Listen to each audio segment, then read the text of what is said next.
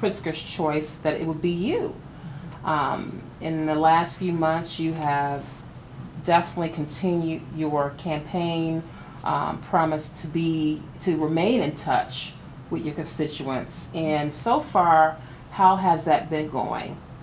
As state representative? Yeah, or- state representative. So, sure. Um, well, first of all, thank you for having me. Mm-hmm. Um, so, as state representative, one of the things that I've talked about from not just from my campaign, but as a state representative, is how important it is to ensure that the community is as involved and engaged as possible. And um, so I love knocking on doors and talking to people. That was one of the things that I loved about my campaign, even though it was a lot of work, it was something that I really enjoyed. I enjoyed going to someone's home, having them say, hey, come on in and have a seat in my living room and let me tell you about our community. Let, let me tell you and share stories about, you know, um, the things that I remember about our community. Our family has been here for 50 years. Here are some things we'd like to see. Those were all things that inspired me as um, as a state representative and continue to do so. So after being sworn in in January, I continued most weekends to knock on doors and to listen to the residents because you know, as I've said to so many of them over and over again, I cannot represent people if I'm not listening to people and hearing their concerns directly. So I love it. And so that's one part of being a state representative. The other part, of course, is being in Springfield and um, meeting with advocates, meeting with organizers, um, and filing bills. So I filed um, over 25 bills actually this first uh, session. Um, so I was very um, ambitious um, because these were all things that I knew were really important. And one of the things that I learned during my time in Springfield was um, there's a process to going from a bill to a law. And you know, I've known that process, but it's different. You know, you learn it in school or you learn from Schoolhouse Rock or whatever. But it's different when you are there and, and sort of see that process and how much it uh, requires you to build relationships um, with those that are advocating around an issue, with um, with my fellow colleagues in the state legislature. Uh, and that process again was just I, I love that process. I love the idea that you see an idea, something that needs to happen, you see a problem, and the way you can solve that problem is by changing the law.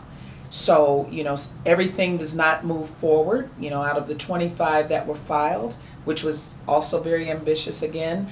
Um, I think there were nine that ended up being heading to the governor's desk, eight or nine that headed to the governor's desk, and starting to see those get signed now. Two were signed into law yesterday, and it's just been exciting. Your background as an attorney, um, you've had experience in county level um, government as well as dealing with different organizations. You're a resident of Bronzeville throughout that time that you were running for this position, there was a lot of controversy surrounded around this particular district and the fact that it was the highest campaign cost in the state of Illinois in this particular type of seat. A lot was on stake. Do you feel that because of how that that campaign went with the backing that you had, not only the political backing, but also the constituents. It seems like voters came together with this same cause of, hey, this is a very serious issue with child care cuts. This is a very serious issue with senior assistance programs. And it seemed like you were sort of like that advocate poster child of, with us doing this together, this is what we can do if you all really move forward in an electoral process as far as voting is concerned. Um, do you feel this was one of the reasons that you were selected as J.B. Pritzker's running mate? Yeah, well, I think that first of all, there I'm so excited to have been um, asked by JB to join him on this team. I mean, I uh, very much believe in um, his leadership ability. I believe that he is the one that's going to help steer our state in the right direction after the failed leadership of Governor Rauner. Um, he and I have gotten to know each other, uh, you know, over these last several months, and um, we are just so um, in sync on so many issues, and some of them are the ones that you just mentioned in terms of early childhood education. You know that JB was certainly a leader in early childhood education, and that's a priority of his. Um, you know, and he helped to make sure that uh, uh, he worked on getting you know hundreds of thousands of children to to get breakfast. Or, you know, low income families and children to get breakfast and he recognizes why having a good start early on in life is important and that's something that's important to me as well early childhood education jb also is focused on criminal justice reform and was a huge um, supporter and has worked with the center on wrongful convictions and as you know, criminal and juvenile justice reform is something that has been very important to me. Many of the bills that I worked to pass this first session related to criminal and juvenile justice reform. So all of the, you know, there, there are many ways that, you know, he believes in economic development and, and, and, and um, you know, creating jobs and investing in communities. Those are things that are important. So we just saw so many points that were just, um, like I said, in sync or in alignment for the most part and so that's one of the things that I think that we saw that why this could be a great partnership.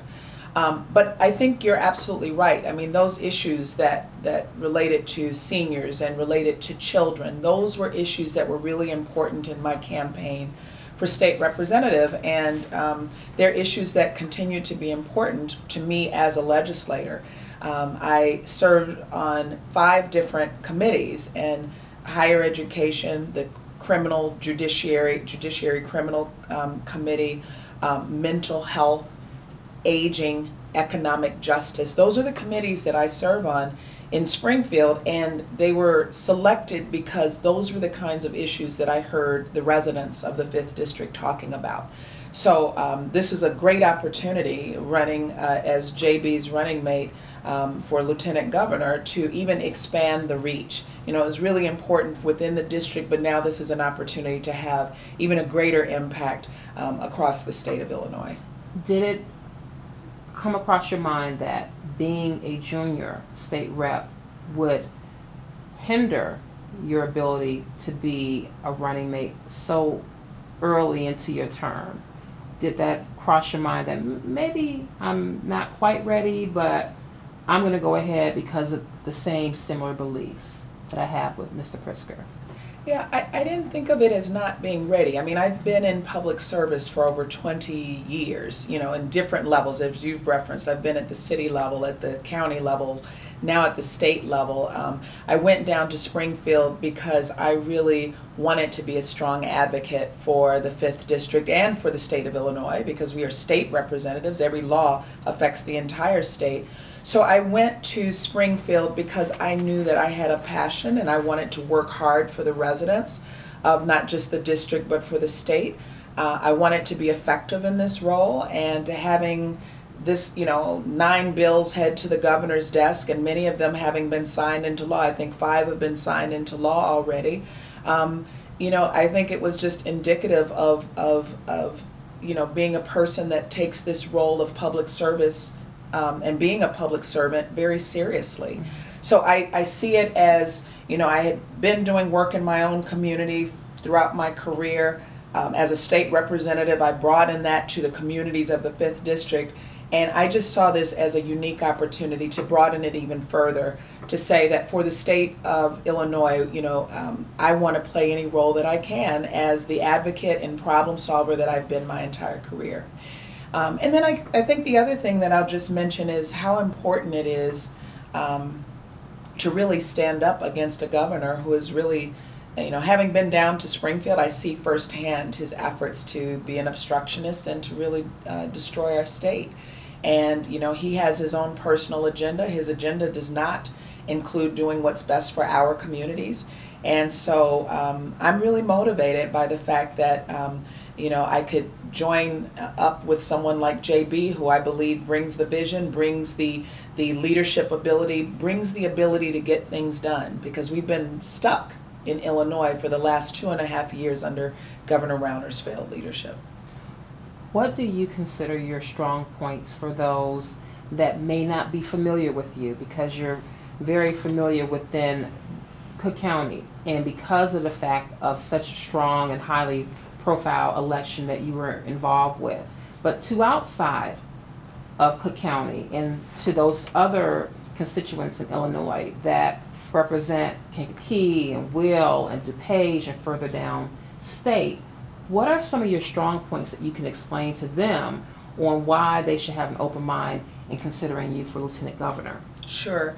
Well, I think I'd start by just, you know, I, I think about that question sort of in terms of how I'd introduce myself to the rest of the state. And I, you know, I think the first thing is is that understanding that, you know, I'm a mom, a mom of three daughters, um, children who have gone through the public school system, who I've always wanted to have a great start in life, much like every parent throughout the state. Um, uh, children that you know I wanted to make sure would be able to continue on if they wanted to go through a institution of higher education how to how to get them to get to that place of having that opportunity much like parents around the state um, I'm someone who um, lives in the city um, but just like many other uh, areas throughout the state, you know, public safety is always something that's of concern, certainly as a parent, but even personally. So, I- you know, I think uh, on the front end, I would just say, you know what, I have experienced, you know, as a lifelong Illinoisan, many of the same issues and concerns that other residents around the state have experienced. And, and I cared for my mother who had Alzheimer's and, you know, um, recognized the need for her to have access to health care and what it